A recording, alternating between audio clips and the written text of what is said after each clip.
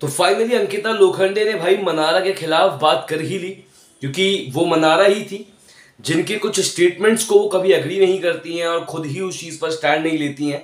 और वहीं अगर देखा जाए तो अंकिता ने जिस तरीके से भाई लेफ़्ट एंड राइट एक्सपोज किया है मनारा को, ये चीज़ ज़रूरी था, ये रियलिटी चेक ज़रूरी था मनारा को। आखिर क्या हुआ है ऐसा? और क्यों जनता ये कह रही है कि भाई मनारा को अंकिता ने पूरा क्लियर तरीके से एक्सपोज कर दिया है?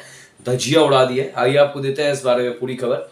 नमस्कार दोस्तों, आप देख रहे हैं फीफा फूज और मैं हूँ आपका अपना दोस्त और होस्ट कनीश कांदू आपको बता दें कि भाई, अंकिता लोखंडे को बाहर ऑडियंस से प्यार तो मिल ही रहा है, साथ ही साथ सपोर्ट भी मिल रहा है।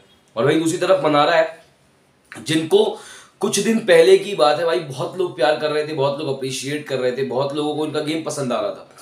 लेकिन जब मनारा ने ये चीज़ कही कि मुनव्वरा पब्लिकली अपोलोजाइज करिए, सारे घर वालों से माफ़ी मांगिए सारे घर वालों के सामने माफ़ी मांगिए। तो ये जो चीज़ हुई, उसके बाद बहुत सारे लोगों का जो है थोड़ा सा दिल उठ गया मनारा से, और बहुत सारे लोग मनारा से नाराज़ भी रहने लगे। लेकिन इससे आपको बताया तो मनारा ने एक बात कही थी कि मैं नहीं रह सकती ऐसी लड़कियों के बीच। मैं नहीं रह सकती ऐसी कैरेक्टरलेस लड़कियों के बीच। ये मनारा का शब्द था, जो उन्होंने अंकिता को कहा था।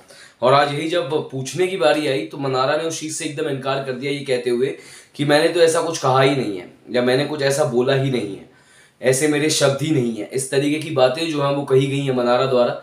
और अंकिता ने क्लियरली एक बात बोली कि तुम एक नंबर की झूठी हो, तुम अपने शब्दों पे नहीं रह सकती, तुम जिस तरीके से बातें घुमाती हो, रहन दो, आज के बाद मुझसे बात मत करना, ये बातें अंकिता ने कही हैं। फ़िलहाल इस पर आपकी क्या राय है? इस बारे में आपको क्या लगता है, हमें ज़रूर बताएगा हमारे कॉमेंट सेक्शन में लिखकर। मिलते हैं आपसे अगले वीडियो में। धन्यवाद दोस्तों।